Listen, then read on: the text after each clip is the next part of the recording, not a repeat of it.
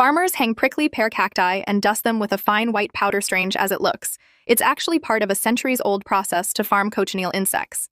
These tiny bugs produce carmine, a deep red natural dye prized across the globe. Carmine isn't just vibrant, it's valuable.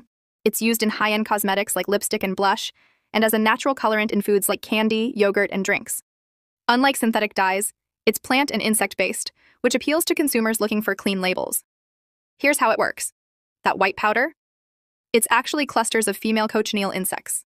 Farmers carefully apply them to the cactus pads, where they hatch, feed on the sap, and secrete a waxy white coating to protect themselves. After a few weeks, the bugs are fully grown and ready for harvest.